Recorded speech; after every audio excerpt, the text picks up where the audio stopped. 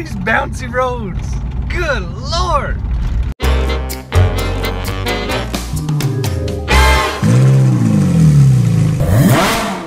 Hey, what's up, everybody? ah, these bouncy roads. Good lord. All right, so we're still talking conversions, and here's here's a quick tip, an easy one for you. Stop using those cheesy photos on your website. Just stop those cheesy stock photos.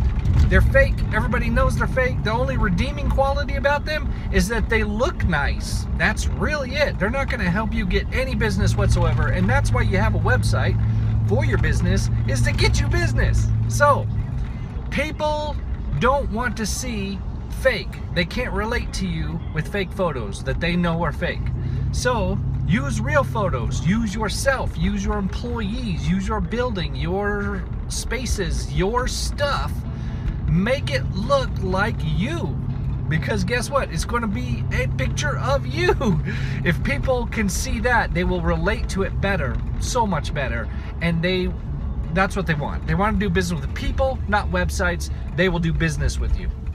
It will get you more conversions so get rid of the cheesy stock photos and go with real photos it'll get you more business and if uh, you want to know more tips and tricks and, and a whole lot more examples of how to do this stuff, click the link in the description, sign up for the free training, converting website traffic into leads and sales.